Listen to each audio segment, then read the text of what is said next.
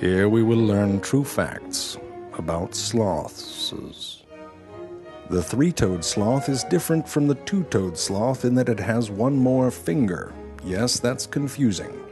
Regardless, if you're named after the number of toes or fingers that you have, you know you haven't done all that much to stand out.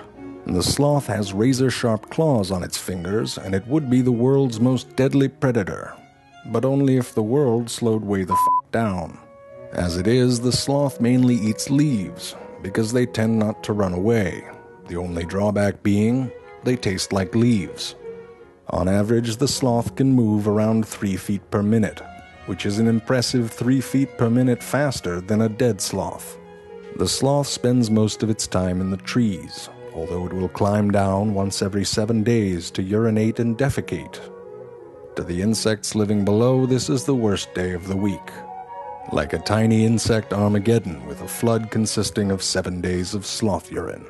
Most likely, the sloth does not urinate while it's in the tree because it's hanging upside down. Think about it. That would be messy. Now stop thinking about it. Why are you still thinking about it? Seriously. You're disgusting. Some sloths appear green because they have algae growing on their fur, which provides them with camouflage, which is the same excuse I would give if I moved so slow that algae grew on me. It's camouflage, motherfucker. Mind your own business. The sloth is a relative of the anteater and the aardvark. Science isn't sure how they became relatives, but they're sure that it involved a kinky night with an elephant and a rattlesnake. If you're having a stressed out day, remember the sloth. They don't do shit and they haven't gone extinct. I'm sure you can afford to take a nap. Just don't pee if you're lying on your back. I know you were still thinking about it. Why is this sloth crossing the road?